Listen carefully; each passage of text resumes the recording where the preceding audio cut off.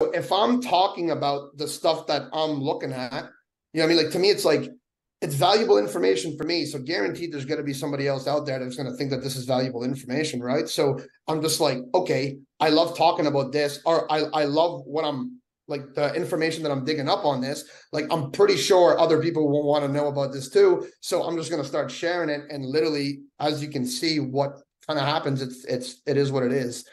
You know what I mean? Like people are, are, are really loving it because it, it works for every niche. Like the same thing with doing content. Like like you focus on you know blowing people up on TikTok. Like you can use TikTok and and short form content or content as a whole, right? YouTube, whatever it is, as a whole to build your online presence, to build your brand, so that you can get more attention, so that whatever you know, I mean, you can end up getting financial freedom or making sales or whatever, whatever the case may be, right?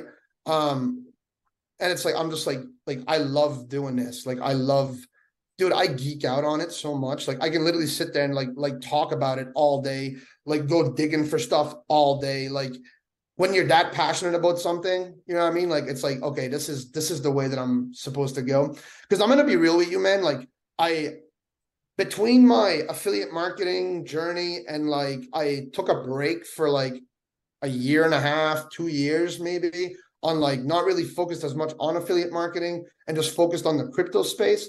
Um, I made a lot of money. I'm not gonna say that I de- that I didn't or whatever. I made a hell of a lot of money. Um, but it's hard on the head, dude. It's fucking hard on the head. Like it's super hard on the head. Like, like stress wise. Um, you know what I mean? Like, it's it just it just is. Like even like Twitter. Like Twitter's toxic as hell.